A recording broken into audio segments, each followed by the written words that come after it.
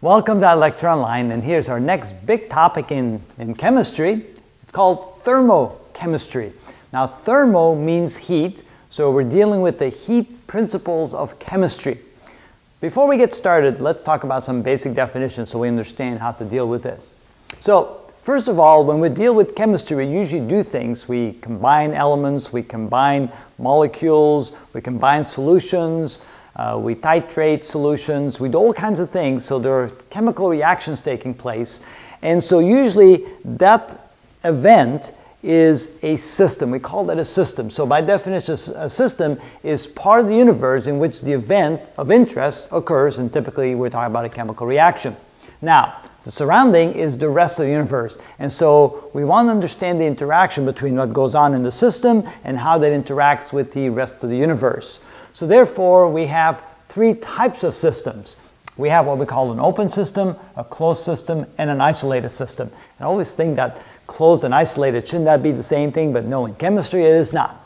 Open system means that we're doing something in a container perhaps, but the container is open and we can add matter, we can take matter out, energy can go in, energy can go out, so it's open. So we can interchange both matter, mass, and energy, and so we call that a reaction in which things can be added, taken out, energy can go in and out, and so forth.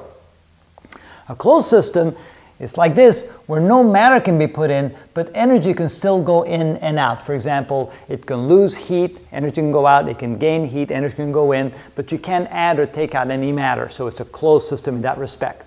Isolated system implies that something is going on in here that neither matter can go in or out, and not even energy can go in and out. So it's usually insulated. We call it an insulator, it's insulated, so a nice thick layer of insulation, so very little of any energy can go in or out for all practical purposes. We could say no energy has been exchanged.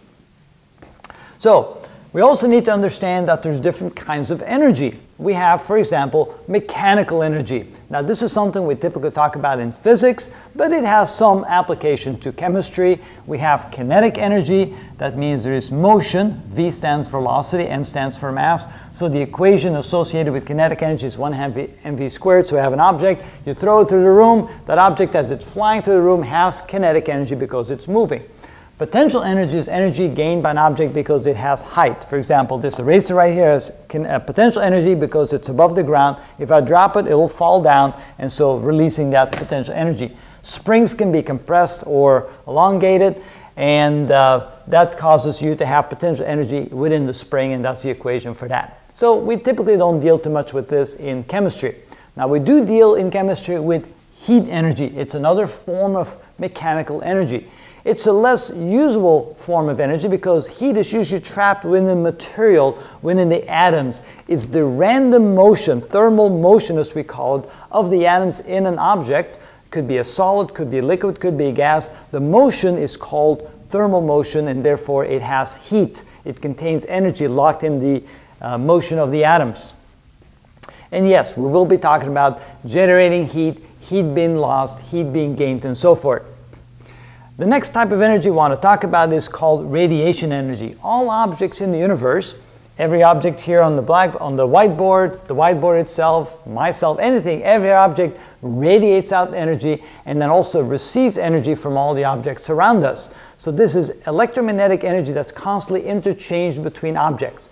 Objects that are hot produce a lot more electromagnetic uh, radiation and they cool down because of that. Objects that are cool receive a lot more electromagnetic radiation, therefore they heat up. And so there's always this change of energy between objects, and this is called electromagnetic radiation, electromagnetic waves.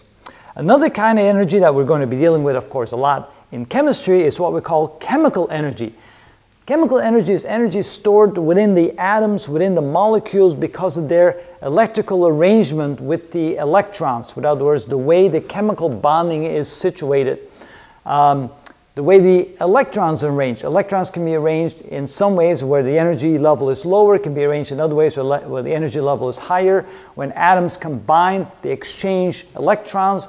The electrons typically then are in a more stable configuration and therefore the energy level of the atom or of the molecule drops as opposed to the uh, energy level of the individual atoms that form the molecule. And for example, if you have sodium and chlorine, now sodium is a metal and chlorine uh, typically a gas in this um, in free nature uh, or in a liquid form if it's in a solution. If you bring the two together, uh, what happens then is they form a bond and they form a sodium chloride molecule. Of course, most of us know that that is table salt. And when that happens, is the energy contained within the sodium and the chlorine, when they combine, some of that energy is released because sodium chloride is a more stable form than the two elements by themselves. And so energy then escapes. But don't forget, the adage is that energy is always conserved. If we take the whole totality of all the energy, heat, mechanical, chemical, and so forth, the total amount of energy available is always conserved.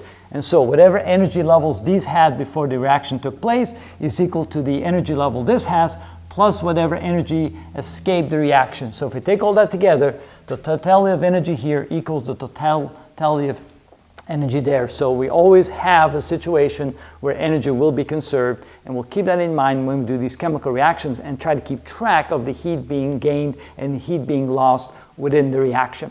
So hopefully this gives you a basic understanding of the different ways of looking at energy, looking at heat, and how we look at systems and whether or not they're isolated or not within the chemical reaction realm. So there you go. Good start. Start looking at the videos if you're interested in that because we'll be talking a lot about the heat exchanges in chemical reactions in the next number of videos.